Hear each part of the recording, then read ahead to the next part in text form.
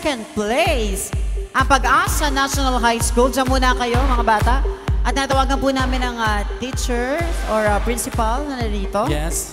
To receive the trophy and the 7,000 pesos in cash. Congratulations. Once again, palakpakan po natin ang Pag-asa National High School.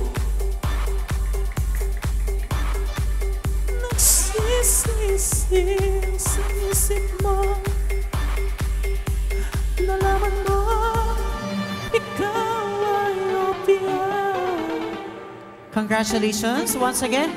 The Pag-asa National High School ang ating second place.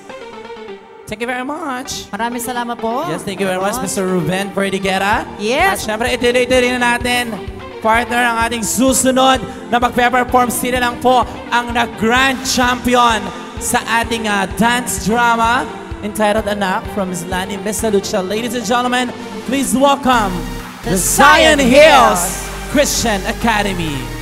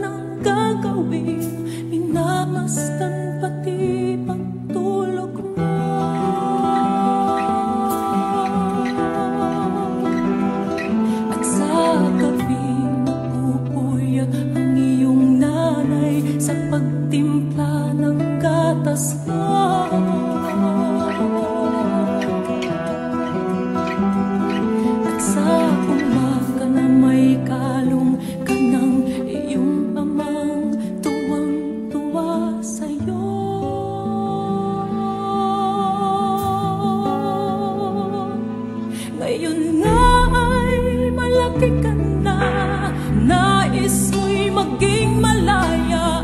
Di man sila payak, walang magagawa. Ikaw nga ay biglang nagbago Naging matigas ang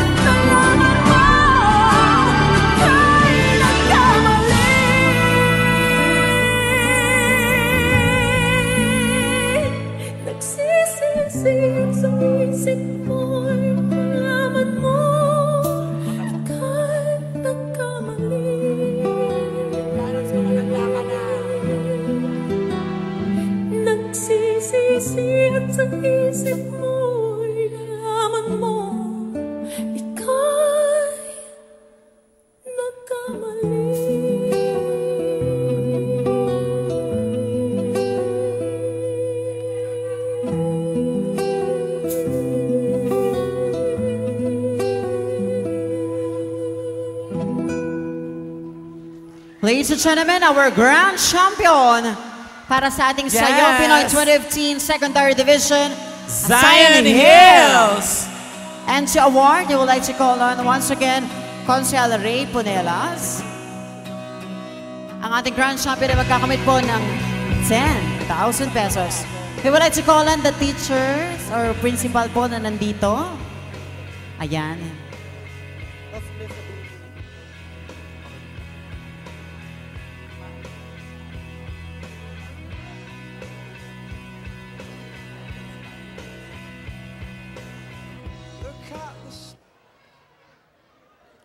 Congratulations, Zion Hills.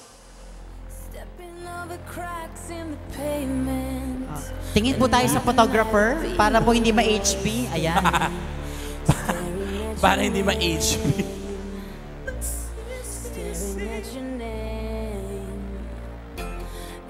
Thank you very much, so Ray Consel. and uh, Sign Hills. Congratulations, they maraming receiving salamat sa inyo. 10,000. Pa-receive na na po kayo. At syempre, this time, partner, bago natin ipakilala ang mga Binalayan Festival King and Queen official candidates, makakasama muna natin, of course, muli ang bumubuo ng BYPA.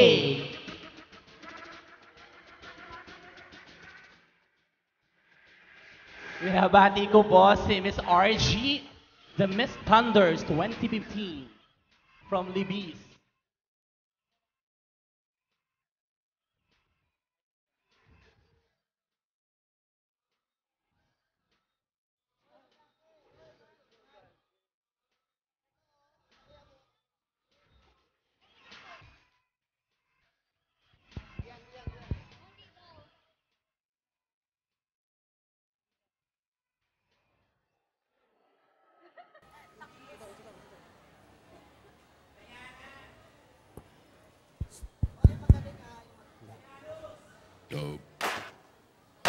Kung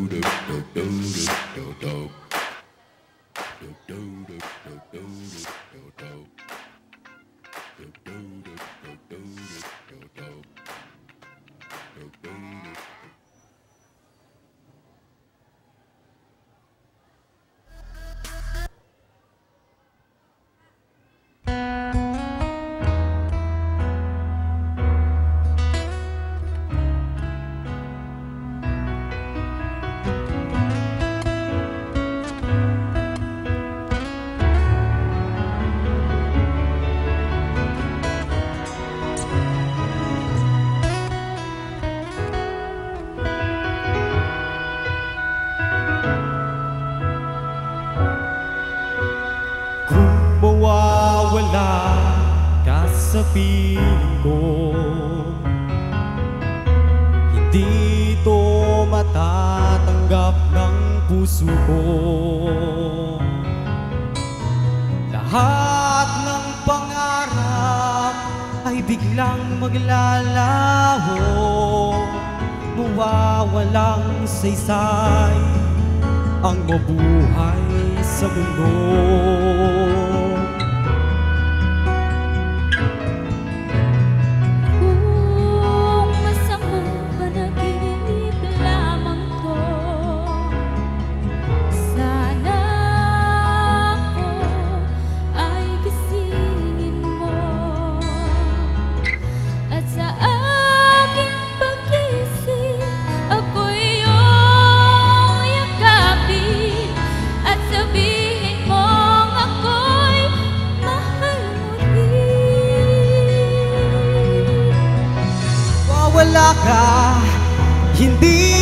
makakaya Harapin ang bukas ng Nang nag-iisa Kung ako'y iiwan mo. Paano na tayo?